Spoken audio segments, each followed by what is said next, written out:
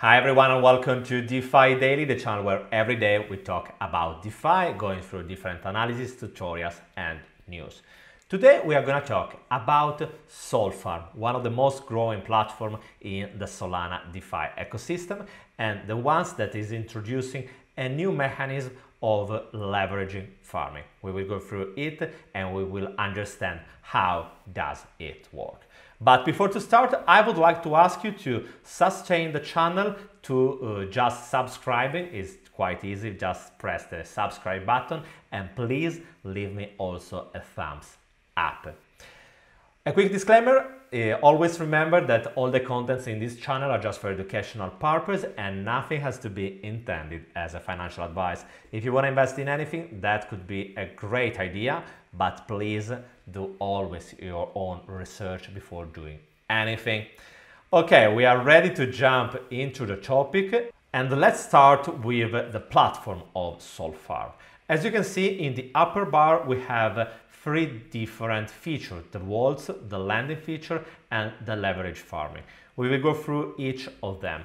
But before to start, I would like to say a couple of words on the total value locked on the platform. Right now it is around 650 million. If we try to compare it with the main platforms on the Solana ecosystem, we will see that right now uh, the Solfarm platform is in the fourth place. As you can see here, it is the fourth in this ranking provided by DeFi Llama and it is just behind Saber, Sunny and Raydium. If we try to have a look to the trend of Solfarm, as you can see here, uh, the platform has born around uh, the mid of May and since then the total value locked inside the platform has grown organically reaching a peak around uh, the mid of September, just a couple of days ago, of 800 million. Since then, the uh, total value locked is uh, decreased quite a bit. Same, uh, same story when we are talking about the price of Solfarm, and to analyze it, we can have a look to Eh, the CoinGecko platform. A couple of words also on why most of the time when I'm trying to analyze uh, the price of uh, the tokens that we are gonna talk, I'm using CoinGecko or CoinMarketCap and not platform like TradingView. The reason is that I don't believe that it makes any sense using any kind of technical analysis when we are talking about farming token or token that are so young that there is no historical data and most of the time we are talking about uh, just rewarding tokens. So trying to make any kind of, of technical analysis at least in my opinion, it doesn't make any sense. What is more interesting to understand what kind of price a certain token could reach is more interesting to do some kind of qualitative analysis that is including uh, looking at uh, the total value locked on the platform. That's the reason why most of the time I'm using DeFi Llama as we have seen here because comparing the total value locked of each platform with uh, what is going on with similar projects is something that uh, can help us to understand what kind of price that kind of token will reach. Not to mention that it's always important to understand that the price of each token is strictly connected to what's going on with the technology that is behind. For example, in this case, we are talking about Solfarm. Solfarm is a platform that is built on the Solana blockchain. So the destiny of Solfarm is closely related to what's going on on Solana. And this is something that you can easily understand for also from this kind of chart, because as you can see, the price of Solfarm has gone, or Tulip, Tulip is the name of the token of Solfarm, has gone up organically, reaching a, a maximum of $42, uh, not even a couple of days ago, starting uh, in July and going up more than 20 times. The reason why the price of uh, tulip has decreased so dramatically in the last couple of weeks it's uh, uh, in some part related to what is going on with Bitcoin uh, because the price of Bitcoin is decreasing. But most part of this contraction is related to what happened to uh, Solana just a couple of days ago. Uh, as you probably know, Solana uh, at the beginning of September suffered a, a blackout, a stop that required the validators to restart the network. And is this something that obviously influence also the price of Solana, but most of all the price of tokens, because always remember that uh, the tokens behind any kind of technology are much more volatile than the token that the coin itself of, uh, of the plat of uh, the blockchain in this case the solana coin is much less volatile than the tokens that are from uh, the all the, the FIS platform that are composing the Solana ecosystem. In this case, the Tulip, the token of Solfarm, is much more volatile than Solana. And the reason uh, of this blackout is uh, related to the fact that uh, at a certain point it peaked at 400,000 of transaction per second and it's a quite high number even for Solana that has a high capability of processing transaction per second. And why uh, the reason why I'm showing I'm showing you this news is because what I really care is, is you to have always aware that you don't have only to look at the price of the single token, but you have to look at the whole ecosystem that uh, uh, that kind of platform is part of. For example, Sol, Sol Farming has said it's part of Solana. So if uh, there is a problem on Solana, this problem will also aff uh, affect the price of the uh, token of Solfarm. And that's exactly what we have seen here. The price of Tulip, the Solfarm token, has decreased by almost 60% in not even a couple of days. Okay, understood this, we can go back to the platform and we can have a look on how it works. Uh, let's start with the vaults. The vaults are a, a, feature, a really easy feature that integrates Raydium and Saber. As you can see here, you can select what kind of vault you can uh, you want to retrieve if you want to use vault provided by Raydium or if you want to use uh, vaults provided by uh, Saber. All you have to do is select the platform here. You can also choose all, so you will retrieve a, a vault from Raydium and also from Saber. What does it mean, the term vault? The term vault is just another word to say a, a, pool where you can earn any kind of yield interest from a certain kind of LP token. So an LP token, as usual, is a liquidity pool token. This liquidity pool token is the token that represents the liquidity that you have added on another platform, in this case, or Raydium or, or uh, Saber, and uh, represents the liquidity that you have added to added to a, a certain pool. Let's say, for example, this first volt is uh, the AMSOL SOL LP uh, uh, vault. It means that you have uh, gone to, uh, to Saber and you added liquidity to the AMSOL SOL uh, pool. Once you have added liquidity to that pool, you will receive some tokens. This token is called LP tokens and these tokens are representing the liquidity that you have added to that kind of pool. Once you have your uh, LP tokens, you can go to the Solfarm platform and add them to uh, uh, the vault. In this case, it's really easy. All you have to do is connect, obviously, your wallet. Let's say Phantom. I'm using most of the time Phantom and uh, once you have connected your wallet you can just click uh, here here right now is saying get your uh, LP tokens and that's why uh, it is redirecting directly to the page of Saber. The reason is because I don't have in my wallet any kind of LP tokens from AMSOL Sol. But once you have your LP tokens, you can just deposit them and you will start earning some interest. Remember that uh, you will start also paying some fees. The fees are the controller fee and the platform fee. As you can see, we are talking about 0.50% and 2.50%.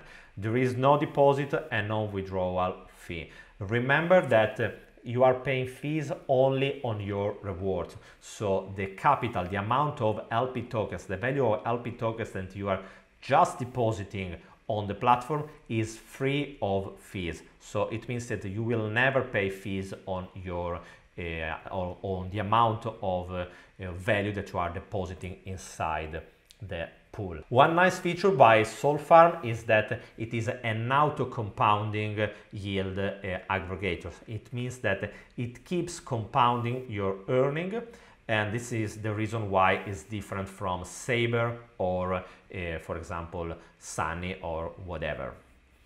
The APY that you will start earning, you can find it in the last column and as you can see here, it is changing by uh, what kind of uh, pool you are using. For example, in this case, Grape USD LP is a pool with impermanent loss because we are talking about uh, two tokens that are different. Uh, that's a different stories when uh, a different story when we are talking about this kind of token.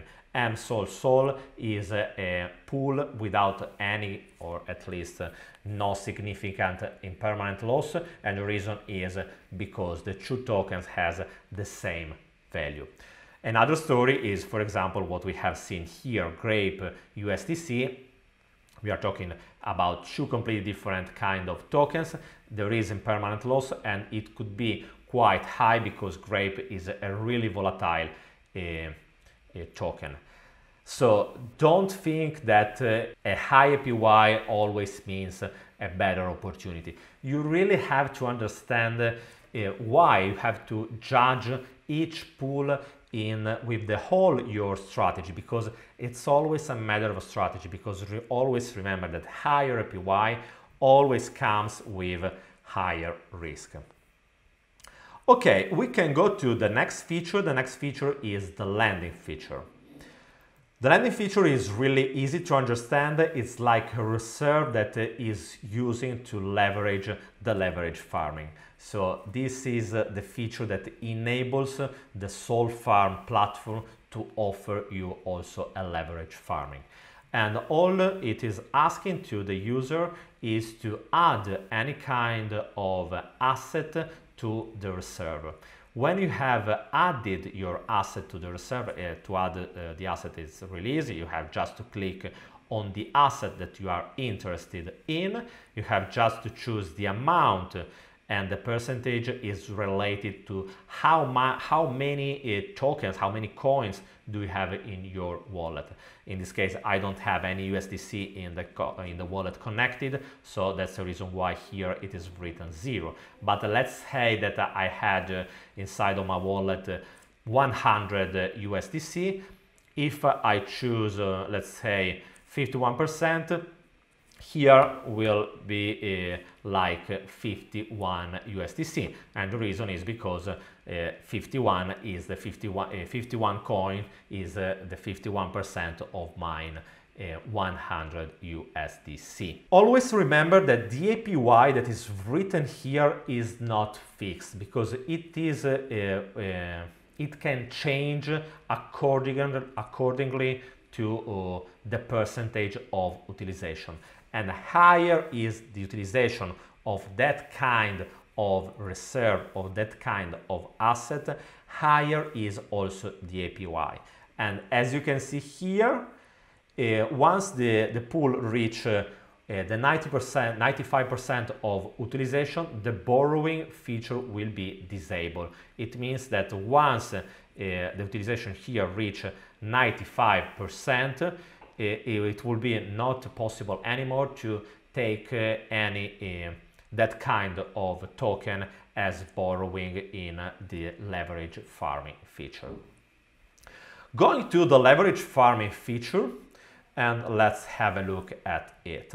As you can see, the APY are much higher it can reach up to 5000%. So we are talking really about uh, monsters, monster numbers, really high numbers. Uh, and the way it is reached is through a leverage farming. A leverage farming that is using a leverage up to three times. Let's have a look at on how does it work. For each vault, you have two assets that are composing the uh, liquidity pool token that uh, the platform will start using to provide you the interest that you uh, would like you you chose.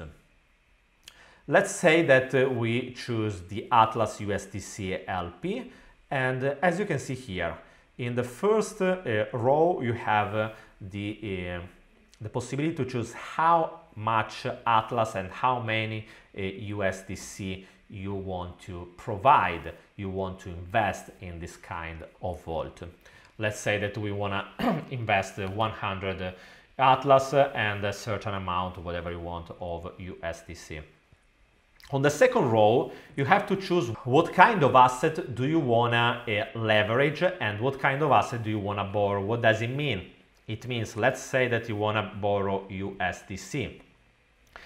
Uh, here you can choose the amount of leverage you can use uh, this kind of slide and you can choose how much do you wanna uh, borrow. Going down you can find how your uh, interest, how much your APY will change accordingly, accordingly to uh, your leverage. Let's say that you choose 2, you can see here that uh, uh, the uh, yield farm is going from 63% to 126%. If you choose 3, the amount of APY will increase accordingly. And the total amount, uh, the total API, APY, you can find it here in the last row of this interface. As you can see here, you can find also the information about the borrowing interest. The borrowing interest is how much you will pay for uh, the uh, amount of, uh, of the asset that you are borrowing to uh, use the leverage farming.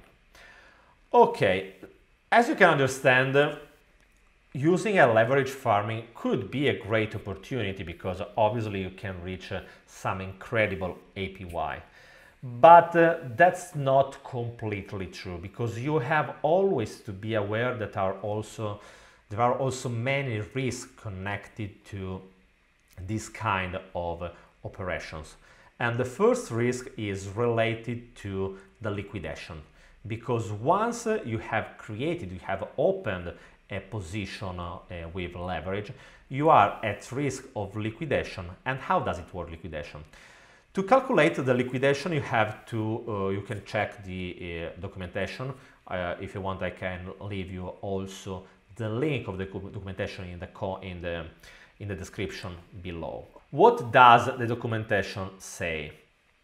The documentation is saying that uh, you have always to maintain a loan to value ratio of at least 85%.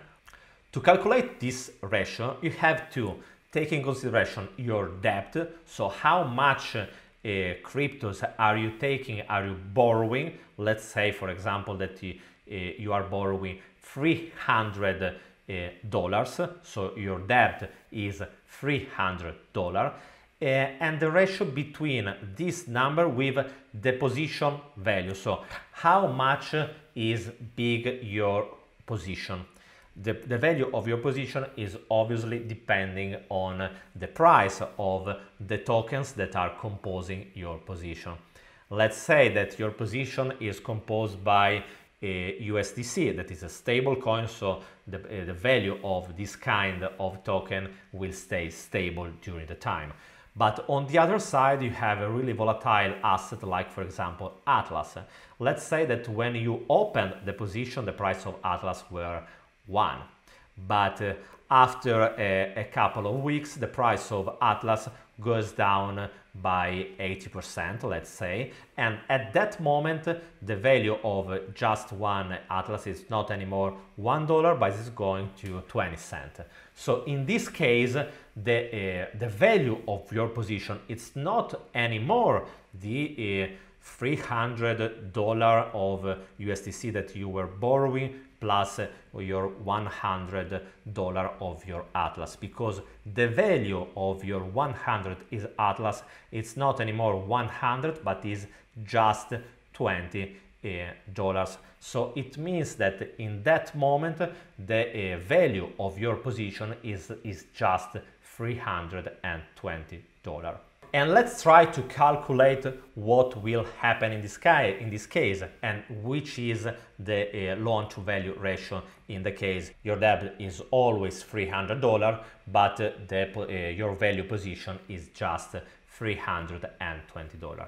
To do it we can use a calculator. Let's say that your, uh, as we have said that your debt is still $300 but your position is just 320 let's divide them and you will find that uh, as you can see if uh, okay just uh, to find the percentage the actual loan uh, to value ratio is only 93% uh, what does it mean? It means that you have uh, you have gone beyond the liquidation threshold the liquidation threshold is just 85%. It means that everything that is higher than 85% will trigger a liquidation, will enable uh, the liquidators to take your position, receiving a 5% of liquidation bounty that is like a reward and you can find it here and the uh, remaining 10% of your position will be uh, returned to uh, your account. So be always aware that using leverage farming, yes, can be a great opportunity, but if you're choosing a really volatile uh, asset, you have to be always aware that there is a threshold that if you go beyond it, you will uh, trigger a, a, a, liquidation. And the liquidators will receive will take your position receiving also a, a 5% of bounty so a reward and you will just receive at the 10% of your position the liquidation is not the only risk that you are encountering using leverage farming because for example as it is explained here you can find it here. This is from uh, the Sol Farm Medium. For example, when Pepe supplies USDC and borrows Ray to farm in Ray USDC LP, he is effectively short on Ray. This is because in token lending, the borrower is required to return the exact, uh, the exact amount of tokens to the lender. If Ray price rises, then some of the Ray in the LP will be sold for USDC, resulting in impermanent loss. This means the borrower will have less Ray than borrowed and will therefore have to buy back at a higher price. What does it mean? It means that uh, in the moment you are leveraging, you are taking, uh, you are borrowing a certain kind of asset, you are accepting the fact that in a certain time after you will have to repay that exact amount of token of that kind of uh, of cryptocurrency and no matter what will happen with your LP tokens. Remember that the amount of tokens in a certain pool will change during the time accordingly to uh, how many people are buying or are selling a certain amount of uh, token inside that pool. Let's say that the, the pool, as in the example that we have just read, uh, is composed by Ray and USDC, even if the price of Ray that uh, apparently could be a, a, good point because it's something that uh,